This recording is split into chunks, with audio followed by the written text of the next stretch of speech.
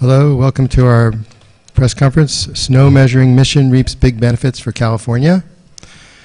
Um, we have four speakers today, and I'll just uh, name them in order in which they will speak. We have Thomas H. Painter, scientist and principal investigator at NASA Jet- Propulsion Laboratory in Pasadena. Bruce McGurk, hydrologist with McGurk Hydrological Associates in Oneida, California. Jessica Lundquist, she's associate professor at the University of Washington, Seattle. And Bradley Doorn, deputy program manager with applied sciences at NASA headquarters in Washington, D.C. All right, uh, good morning. Um, I'm Tom Painter with the NASA Jet Propulsion Laboratory. And uh, go ahead, Alan. Next slide. Um, so we're going to cover the, uh, uh, an overview of the, the motivation for the Airborne Snow Observatory, uh, the demonstration mission from this last spring, this is the first, uh, implementation in reservoir operations and management, and implications for snow hydrology and glaciology, as well as uh, the NASA directions forward. We'll start out with, uh, with our theatrical trailer.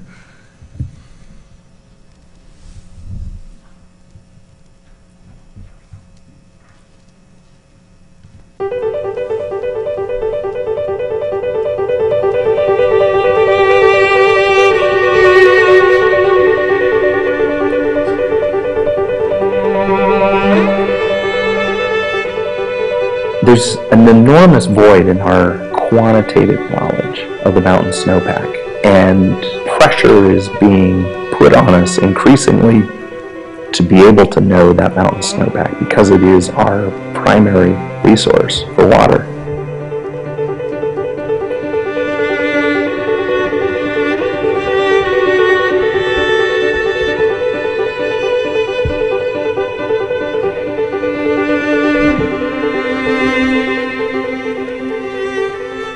So when you fly over the mountains, you can see snow down there and no snow over there, but you have no idea how deep the snow is or how fast it's melting.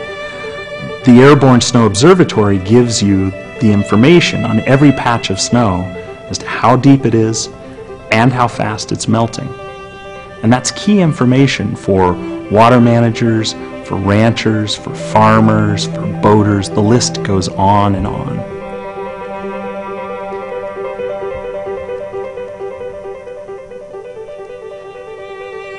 The Airborne Snow Observatory is two instruments put together that look at the surface that tell us how deep snow is and how much sunlight that snow absorbs. And those two combined are what control how fast water comes out of the mountains and how much of that water comes out of the mountains from snow. We need a mission like the Airborne Snow Observatory because we very poorly know how much snow there is in the world's mountains and how fast that melts and comes out of out those rivers. The Airborne Snow Observatory is providing wall-to-wall complete characterization regularly through the snowmelt season. So this is this is the future of of water management in snowmelt fed regions.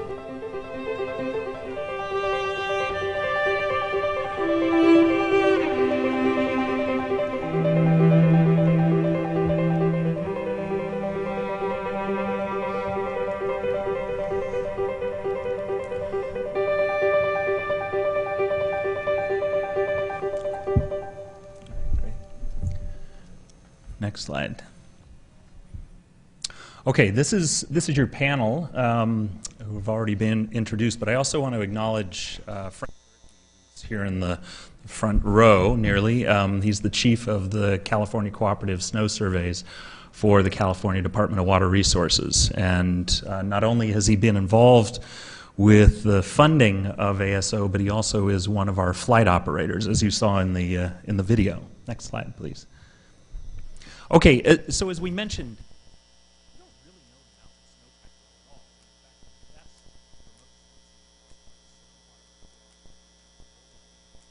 um, passes out the mountain.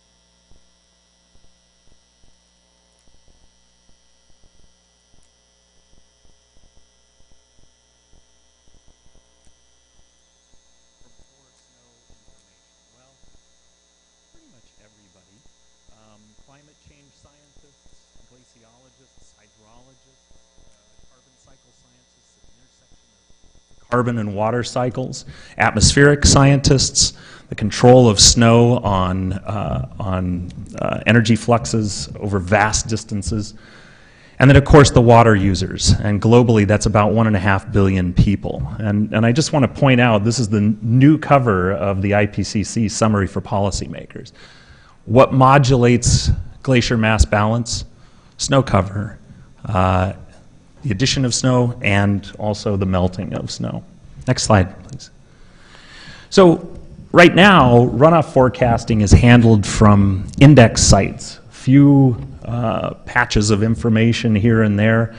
We end up with forecasts that are not as good as we would like. So, about 50% of the time, our forecast errors of the total runoff from April through July are 20%, those errors are 20% or greater. And about 20% of the time, those errors are 40% or greater.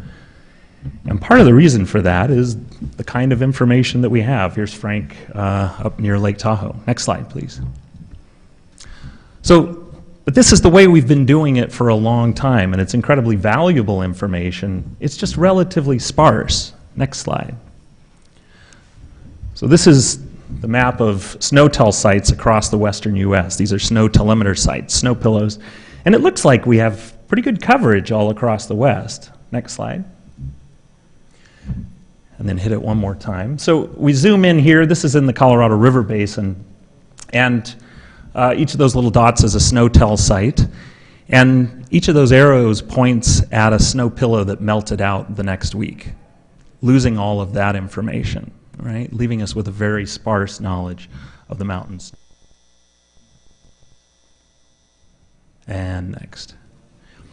So, as we mentioned in the video, there are two things that we need to know to understand the magnitude and the timing of snowmelt runoff from mountain basins. The first is how much water there is up in the basins and how that's spatially distributed. Right? That gives us the snow that that it comes as the snow water equivalent. The other is the albedo. So the absorption of sunlight contributes about 90 to 95 percent of the energy that goes into melting snow uh, in mountain basins. And so the albedo is the reflectivity, that's a measure of how much absorption of sunlight there is. So we've put together two technologies scanning LIDAR that gives us snow depth. And with extra information, we can get the snow water equivalent. And then with an imaging spectrometer, which measures about 100 wavelengths of light or colors of light, we measure the, the reflectivity of the surface. Next slide. Next slide. Okay, and this diagram just shows that for, for you. I won't, I won't go through this in detail. So next slide, please. So the, the demonstration mission, uh, our first was this last spring. Primarily, it was in the uh, Tuolumne River Basin, which is, uh, Bruce will point out, is what the water we're drinking here uh, in the Sierra Nevada. This was on a weekly basis. You can hit that one more time. And that's above the O'Shaughnessy Dam. This is Hetch Hetchy Reservoir. The other part of this was on a monthly basis in the Uncompahgre Basin out here in Colorado. Hit it one more time. And that's above Ridgway Dam. Um, so, again, critical water supply. Next slide. And so, the Airborne Snow Observatory now is providing in these basins these complete maps, wall to wall, of the snow depth at about one and a half meter spatial resolution. 460 square uh, miles here, and then zooming in here, you can see the incredible detail. It's information that we've never had before. Next slide. And then one more time. So we'll go into the results. So this is the transition of the distribution of snow water equivalent across the spring, across the entire Tuolumne River Basin. And you can see this diminishment of the snowpack. But it's happening in ways that we had not understood previously. Okay, next slide. So what we just saw, so that, that was across April 3rd to June 8th. We watched the complete time variation of the spatial distribution of snow water equivalent. We saw the snowpack water volume drop from 218,000 acre feet down to 15,000 acre feet um, which is enough water to supply more than 200,000 families for, of four for a year. Um, and that, we watched that go through that transition. Next slide. And one of the most important parts of the Airborne Snow Observatory, and especially in meeting the water management needs, is processing of those data in less than 24 hours. So making it a timely distribution of data. Now, we pull off of the plane about a terabyte of data and crush that into two maps of about four and a half megabytes, which can easily be emailed, but have the most relevant information that we need for the runoff understanding. So next we'll transition, next slide, to Bruce McGurk to talk about applications.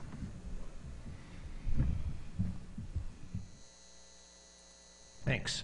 Um, I'm really delighted you're here and uh, welcome you to San Francisco. Next. You all woke up this morning and water was probably on your mind, either tea or coffee or that shower. Your water came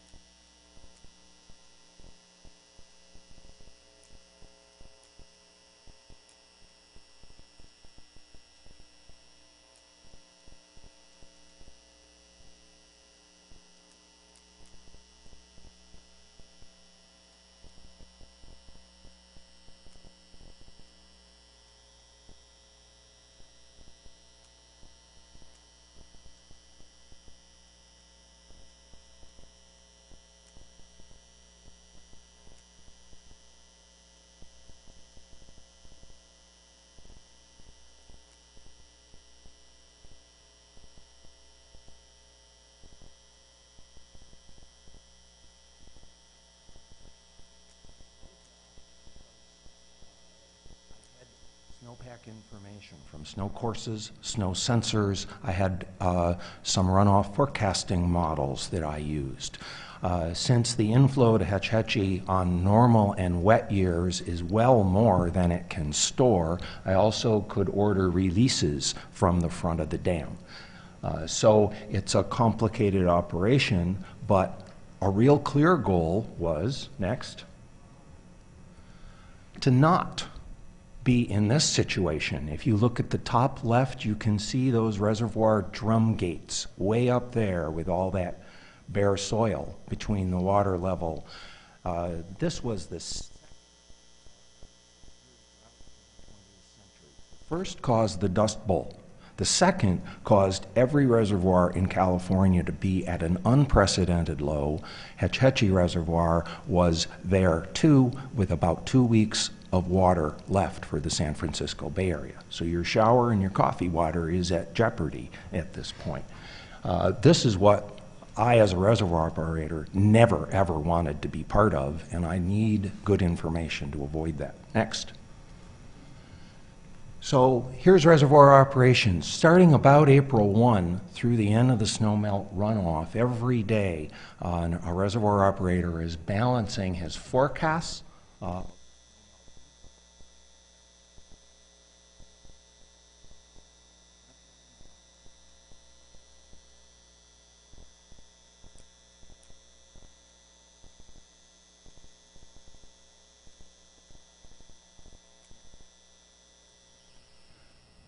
with the ASO results, we have something that we've never had before. No reservoir operator has ever had those simple blue bars in the lower left of this plot. That's the volume of water standing up there on that mountainside as snow. It's, we, we've never known that before. We've had a few points here and there that we used in index equations to make a forecast of runoff, but to be able to actually know how much was there and then watch the reserv- watch the, the snow reservoir up on the hillside diminish through the season with these ASO flights while the operators balanced the fill on that green line so as the snowpack disappeared on the lower right, the reservoir reached full. And simultaneously, we were generating power and providing a perfect uh, reservoir operation with minimum releases when we didn't want them. Next slide. I built a model. It's one of four that's now being used to help operate Hetch Hetchy Reservoir. Forecast, forecasters and operators don't rely on just one tool. They like to have multiples because a lot is at stake, the very least your job. Um, but the top left dashed line was the model prediction of what the inflow to the reservoir would be. The uh, points below it uh, were the observed. So the model was doing very well. Uh, we came up to June 1st, and I took the ASO results that measured the snow in the mountains, plugged them into the model, and overwrote that uh, amount of snow. The top line right, red, was what the model forecasted before that. And it was pretty far wrong, some 32,000 acre feet wrong. The minute I put in the ASO results, the model corrected itself and much more closely tracked the uh, observed inflow. Uh, and with this tool, plus the other tools that the reservoir operators were using, they achieved a perfect operation. The reservoir filled to the brim. They managed to generate the maximum amount of hydropower. Water supply for you this morning was assured because the reservoir was full, and it was a, a marvelous combination. Next. So, ASO data improves so many things. Reservoir operators are just desperate to have that kind of information. Uh, Hetch was a, was a perfect operation in a 50% of normal year. It was a dry year last year, uh, bad snowpack, uh, and yet it still reached full. We generated $3.9 million worth of clean hydropower that avoided that extra power being generated uh, by uh, uh, fossil fuel. And it was just uh, an incredible thing to have that kind of data and see things that we'd never seen before. So uh, there are other people who are really excited about new data, and that would be uh, somebody like Jessica Lundquist from uh, University of Washington. Thank you. May I have the laser for you? Next. All right, so this is a picture you're looking at here from the Gaylor Lakes Basin looking out over the Tuolumne watershed. Um, and we've been, the reason why scientists are excited is we've been trying to figure out what's going on here for years with almost no information. Next. So for very simple, um, the Sierra are primarily granite, so in some ways that makes for an easy hydrologic cycle. Um, basically, you start with precipitation, both snow and rain falling out of the sky. You end up with snow on the ground, the snow melts, and you get stream flow, right? It seems like an easy thing to do. Um, start talking back to me? Okay. um, so, so here's a picture of Tuolumne Meadows, as you may have, some of you may have seen if you drive across um, Highway 120. And we've been trying to figure out, you know, the ecosystem, the water supply, all depends on that stream flow. Next. However, when you think about even these simple set of equations, precipitation in the mountains is hard to know. Um, what you see here on the left is the number of stations as a function of elevation on the x-axis. And you can see that as you go up higher in the mountains, there are fewer and fewer observations. Why? The picture on the right shows you what happens once you put your instruments up there in this healthy Sierra snowpack. Um, they, they don't survive very well, and um, poor Frank has to go fix them all the time. Next. Um, snow, by the same token, is also hard to know. And um, as Tom talked at the beginning, we're relying on just very few point measurements. Of here, you see a picture of snow pillows, which are big weighing gauges that just weigh how much snow has fallen on them. Um, manual snow course measurements. We, California has a very dedicated team of people who go out and um, poke holes in the snow, figure out how deep it is. And then satellite images, which you know show you where snow is, but you have no idea how much is at any given location. Next.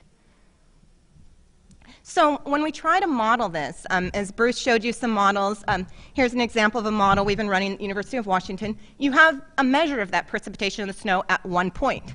You then have everywhere else you want to know that, and you make your best guess and map that to the rest of the watershed. Next. Um, Typically, a hydrologic model is just that. You can think of it as being a bucket where we have rain plus snow. We have some loss of evaporation of the water back to the atmosphere. And then what we get out the bucket is the stream flow.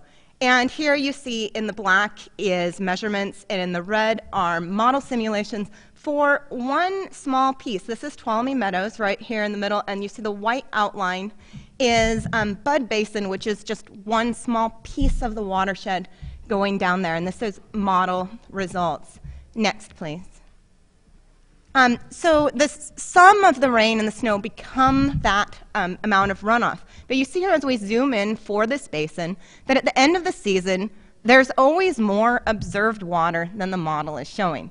Um, that's you know somewhat similar to what Bruce was showing um, for the larger Hetch Hetchy Basin. And what you see is that because we're guessing from a point, we're assuming precipitation increases as a function of elevation. But if you go up there and you walk around and you look at where snow is, um, you can see here there are two pictures in the lower left hand of this basin, and you see that this is not just a gradually varying field. This is very drastically different as you move across the watershed. Next.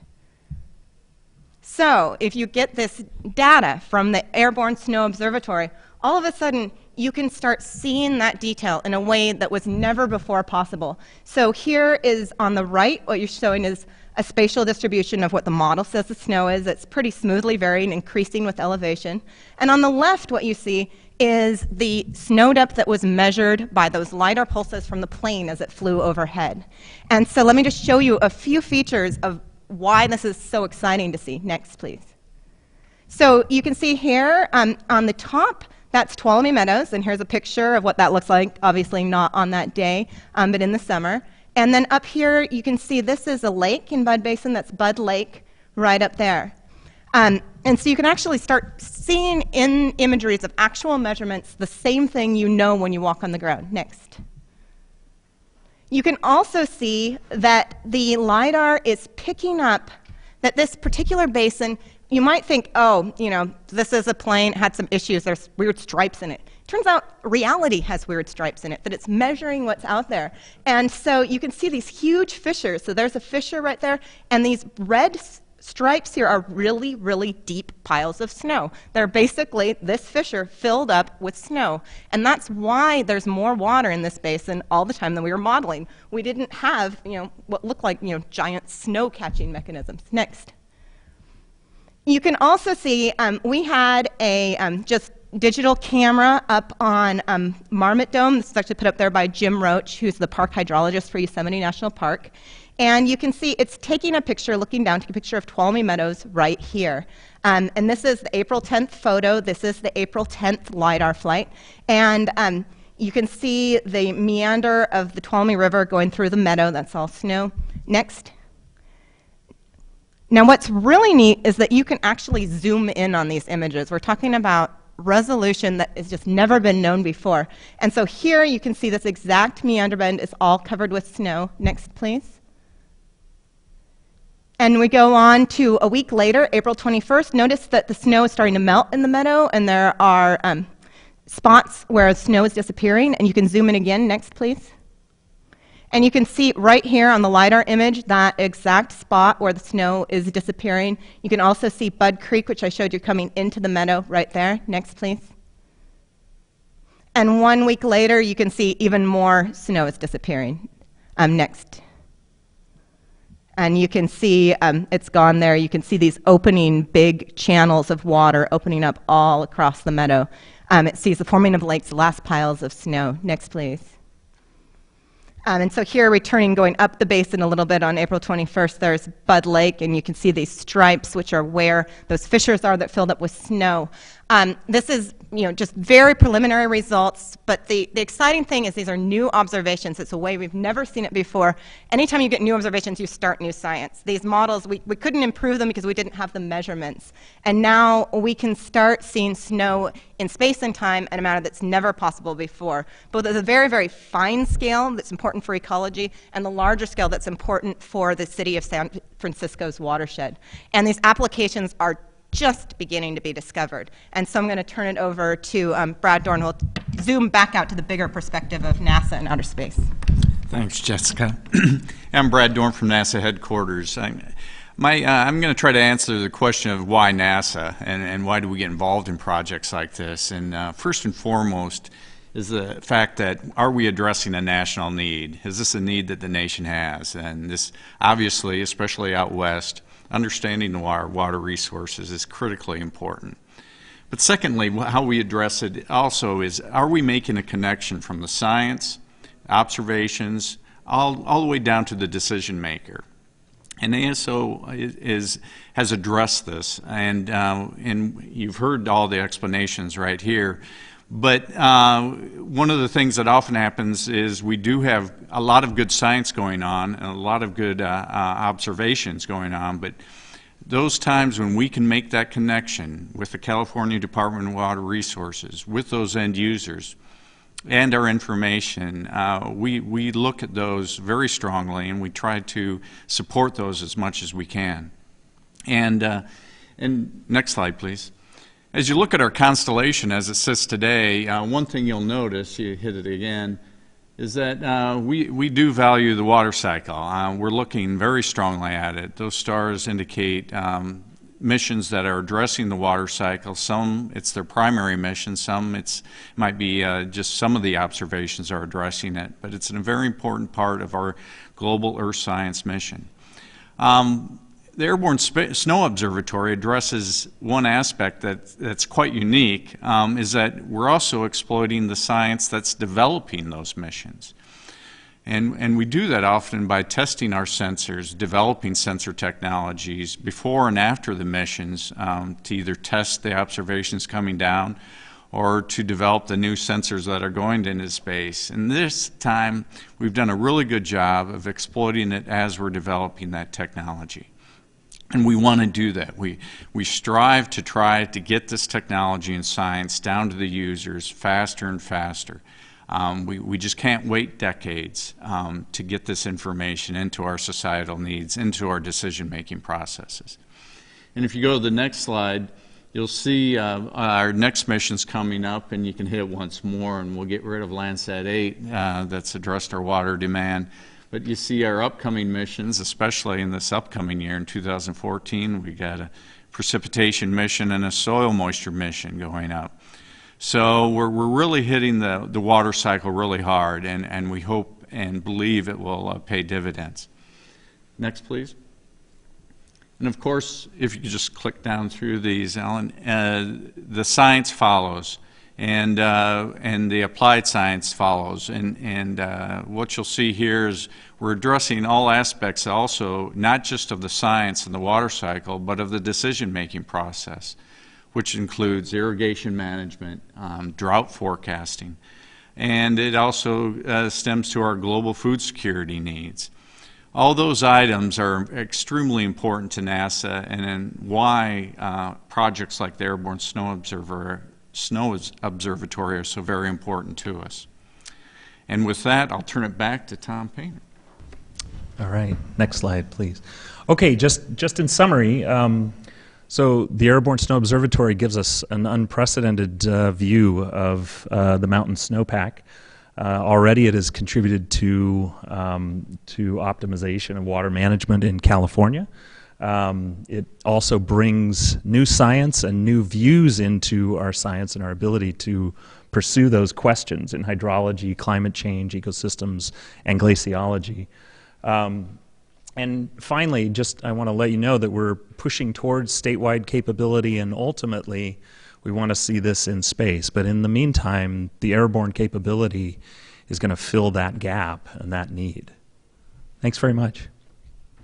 Okay, we're ready for questions. Any questions here? And please state your name and your affiliation. Uh, I'm Dave Perlman from the San Francisco Chronicle. A million questions arise, but is there any comparison between the economic economics involved in a statewide snow survey airborne versus a million guys out there plodding through the snow and probing the snow? So I think that's a that's a great question for Bruce as well as for Frank. Uh, it really goes to Frank. I meant, yeah. Yeah. Frank, do you want to do you want to reply? I think one thing uh, to address David's question, uh, the Airborne Snow Observatory relies upon the manual measurements and the telemetered measurements from the existing on-the-ground network. The Airborne Snow Observatory gives us snow depth, it, and we derive the water content from the ground-based snow density measurements from snow courses and snow sensors. So we're taking a program that began well over 100 years ago and building on that and kind of carrying that into, you know, its next phase. And the data that we derive from this approach, we can't get any other way. Irrespective of how many people you could possibly, you know, send trekking out into the boonies, you just can't get the coverage. And one thing, real quick, while I'm capitalizing on the mic here, uh, one thing that uh, Tom touched on briefly, but is also extremely important, is the idea of flying blind. In the Tuolumne watershed, we've got fully a third of the watershed area above our highest point of measurement. And we run out of snow on the pillows and still have a whole lot going hydrologically. And so the ASO gives us that ability to see above where, our, where we have the sensors located. And that's extremely important, especially in a big year. Yeah, and let me add some uh, dollars and cents. Uh, uh, once the lower elevation sensors have gone blind is when I'm most critically working to balance power generation and reservoir filling. I'm also trying to avoid spilling because oftentimes there are frogs and other amphibians downstream that would be adversely affected. If I can turn on a powerhouse a day earlier because I have more confidence in my information, that's $66,000 for the, a day for the powerhouse directly below Hetch Hetchy Reservoir. Now let's say it's 10 days or two weeks. We're getting close to a million dollars worth of clean power that can be generated rather than hedging, which is my defense against coming up short so that extra information has real extra value, and it's dollars value as well as a lot of other very desirable attributes. So. Hi, uh, Stephanie Ogburn with Climate Wire. I had uh, sort of two questions. One is, it looks like you're expanding this in California but also, for example, the Colorado River Basin is a, a key basin for many users in the West and even down into Mexico. And I saw that you did something outside of Ridgway. I was just curious if you have any plans to expand that, and also if you do get much use out of doing monthly flights instead of weekly. Um, and then my second question is how do you plan to translate this into space? Okay, so um, yeah, we we're working in the Upper Colorado River Basin, and um, and it's a slightly different approach. So in in California, we partnered immediately with with uh, Department of Water Resources to get flights going. In the um, in the Upper Colorado, it is it is the federal government.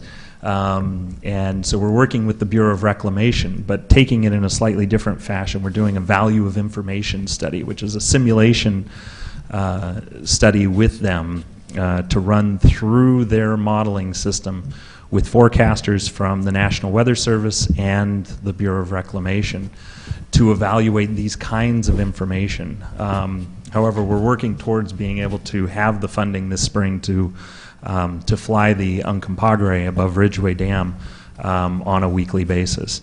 Um, and uh, the, the technology investigation that we have done, we've, we've shown that, uh, that we can do, we can fly this on a, on a weekly basis.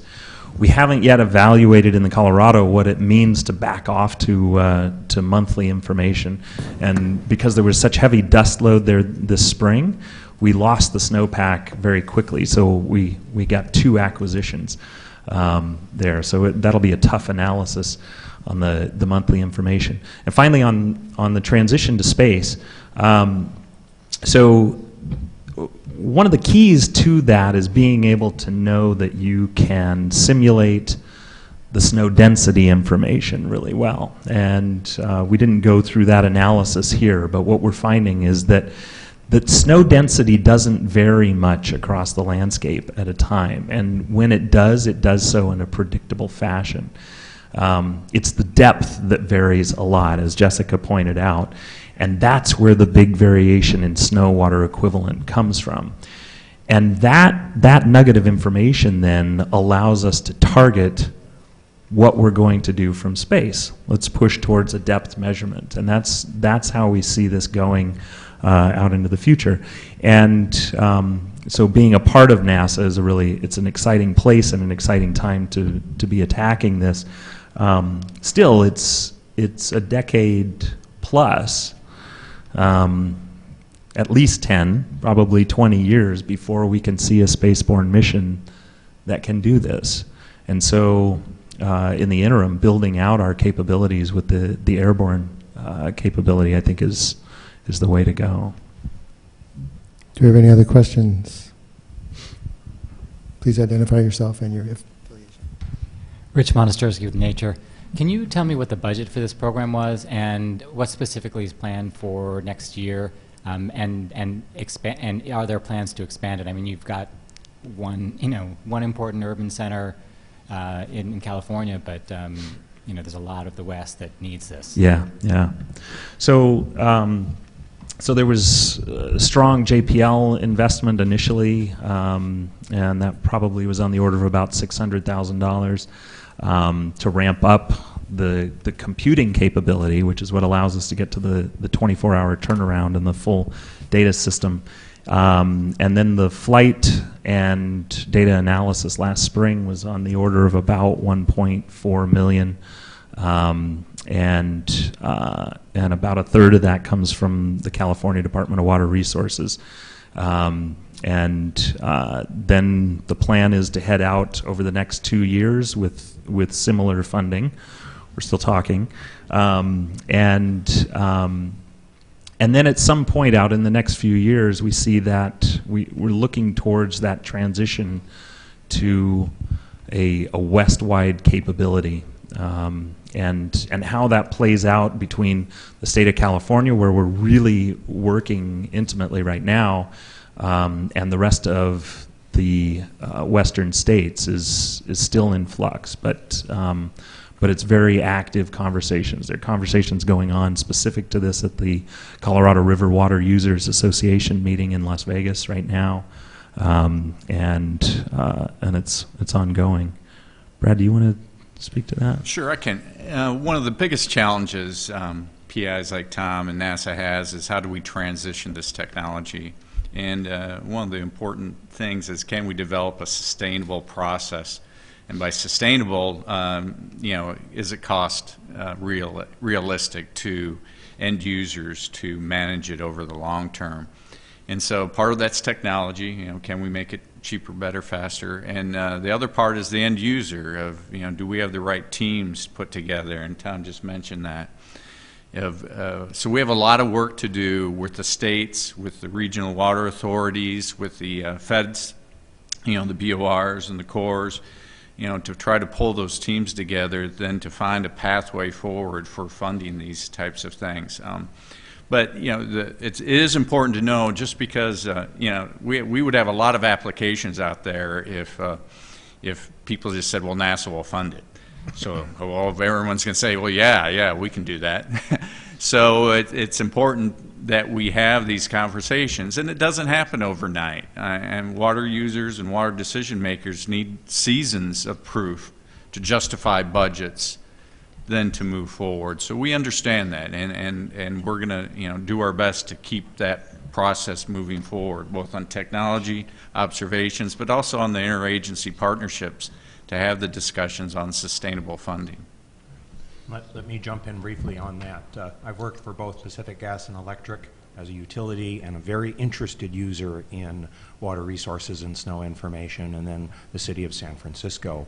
Uh, both of those groups are part of a very interesting organization called the California Cooperative Snow Survey Program, which Frank heads up.